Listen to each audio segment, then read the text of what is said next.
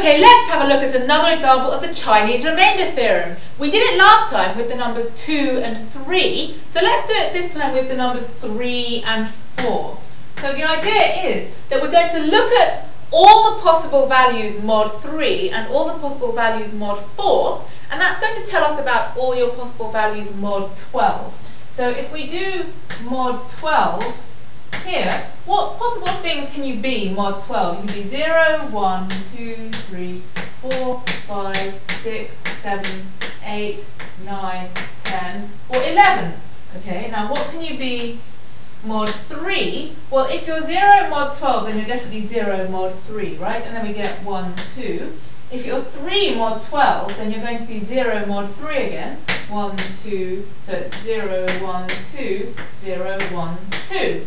Okay, now let's have a look at what you could possibly be mod 4. Well, if you're 0 mod 12, then you're definitely 0 mod 4, and then we get 1, 2, and 3. And then if you're 4 mod 12, you're definitely going to be 0 again, mod 4, so we get 0, 1, 2, 3, 0, 1, 2, 3. So now, if we look at these pairs, I can cover up this top row, and if I told you what you are mod 3, together with what you are mod 4, that completely pins down what you have to be mod 12. Because if you look at these repeating patterns, we don't get back to the same thing ever again. The first time we would get there would be at, at 12 again, because we'd get a 0 and a 0, but 12 is just the same as that. So 0 and 0 only appears once there, 1 and 1 only appears once, and you can check that those are all the possible pairs, and that's all the times that they appear. So in that case, we could solve any simultaneous equation mod these two things. So if I said to you, solve the equations x is congruent to 1 mod 3 and x is congruent to, I don't know, 2 mod 4, you know that that gives you a solution mod 12 because all you have to do is say, okay, supposing you're 1 mod 3 and 2 mod 4, there it is. It means you have to be 10 mod 12. So the solution to this simultaneous equation is that x has to be congruent to 10 mod 12. Now, note, this only works because these two numbers are co-prime. Co-prime means that their highest common factor is 1. The highest common factor is 1. So now let's have a look at one where the highest common factor is not 1 and see what happens. So let's try doing 4 and 6. So let's try 4 and 6, the highest common factor.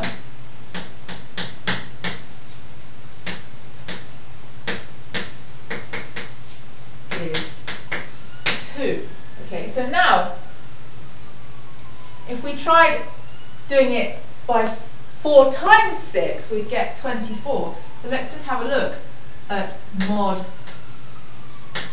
24. There's 0, 1, 2, 3, 4, 5, 6, 7, 8, 9, 10, 11, 12, 13. Okay, I'm running out of space, but that's okay because secretly I know what's going to happen, which is I'm not going to need to go all the way up to 24. So let's have a look. Mod 4, we get 0, 1, 2, 3, because if you're 0 mod 24, that means you're divisible by 24, which surely means you're divisible by 4, right? 0, 1, 2, 3, 0, 1, 2, 3, 0, 1, 2, 3, 0. And now let's have a look. Mod 6. 1, 2, 3, 4, 5, 6, 0, 1, 2, 3. I'm doing it completely wrong. I need to go up to 5. 0, 1, 2, 3, 4, 5, 0, 1, 2, 3, 4, 5, 0, 1, oh look! The pattern started repeating itself, didn't it? Because I've got a 0, 0 here, which was the same as the 0, 0 here. And as soon as I hit that 0, 0 again, the pattern is going to be exactly the same. So in fact, I only needed to go up to 12 because they only had to go up to 12 before the pattern would start repeating itself.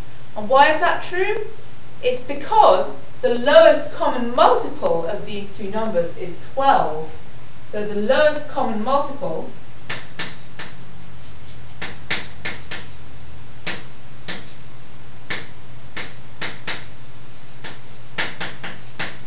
is 12. And there's no, there's no coincidence here about the relationship between the numbers because the lowest common multiple is nothing but multiplying the two numbers together and then dividing by the highest common factor. So if we call this number A and that number B, then the lowest common multiple of A and B is nothing but A times B divided by the highest common factor of A and B.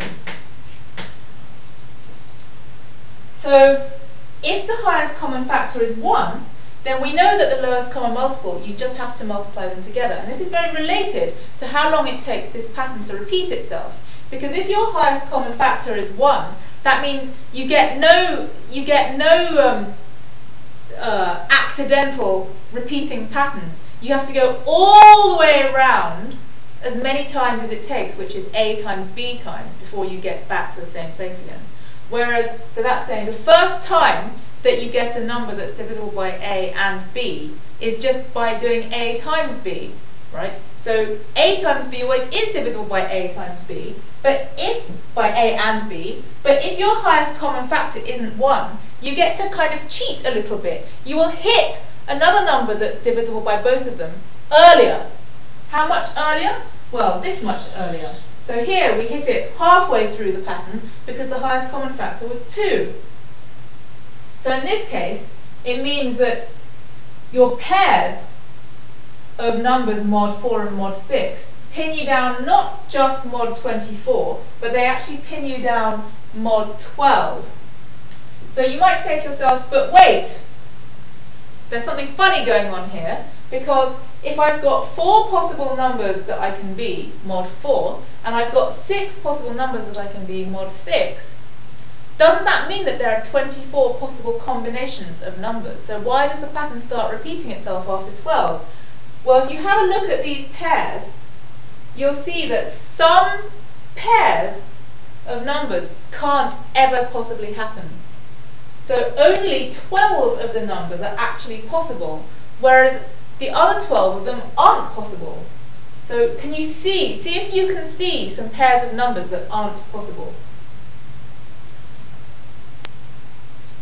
Right, so if we have a look at what numbers go with 0, the only numbers that can possibly go with 0 are 0, 4, and 2. Right, so you can't have 0 and 1. So let's write this down. For example, if we have x is congruent to 0 mod 4 and x is congruent to 1 mod 6, that's not possible. This has no solutions, which should be obvious because if you're 0 mod 4, you're even. And if you're 1 mod 6, then you're odd. Right? So you can't be simultaneously odd and even. So there are no possible solutions to this thing.